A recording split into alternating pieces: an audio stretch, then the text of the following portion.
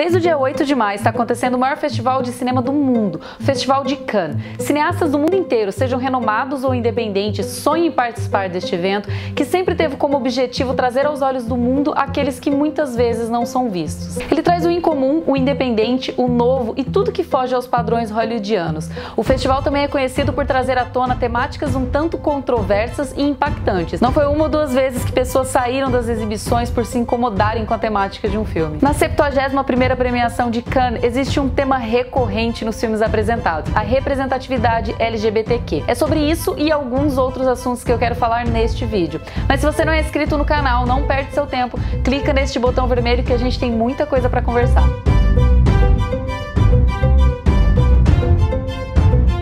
Edição traz várias questões à tona, a começar pelo júri, que é composto em sua maioria por mulheres, presidido pela maravilhosa Kate Blanchett, um nome importantíssimo na luta contra o assédio sexual. Ao seu lado estão nomes como Ava DuVernay, Lea Seydoux e Kristen Stewart. Falando de assédio, temos duas questões um tanto controversas. Primeiro que uma ex-persona não grata foi readmitida no festival. Lars von Trier está de volta. Mas também, junto ao governo da França, o festival criou um disque denúncia para mulheres que se sintam ameaçadas ou sofram de assédio sexual durante o festival. Agora falando dos filmes dessa edição, na competição oficial temos Sorry Angel de Christophe Honoré, diretor de A Bela Juni e Minha Mãe. Jacques é um escritor e dramaturgo e Arthur é um jovem estudante. Os dois se encontram numa esquina entre um cinema e um teatro e iniciam uma história de amor no complicado período da década de 90. O filme russo Summer não traz a temática propriamente dita em seu roteiro, mas ela trata todas as questões de sexualidade com muita naturalidade. No verão de 1981, o rock underground está chegando à Rússia. Victor Tsoi foi um dos primeiros russos a ganhar fama no gênero. Também ficou conhecido por sua polêmica vida pessoal como o triângulo amoroso que viveu junto ao seu mentor musical. Na Mostra Paralela, um filme que encantou o público do festival e lotou a sala de exibição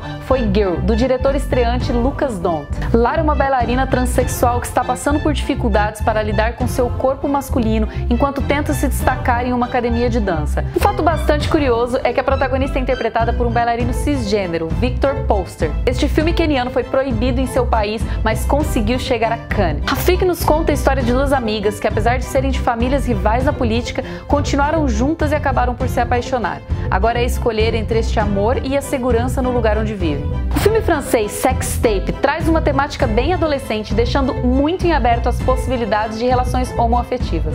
Yasmina se encontra com Salim e Marie no estacionamento. O que aconteceu ali só é lembrado por um vídeo que pode vir à tona e se transformar em humilhação pública. Terror não fica de fora do festival e o filme sueco Grans imagina corpos bem fora do que nos é tido como padrão.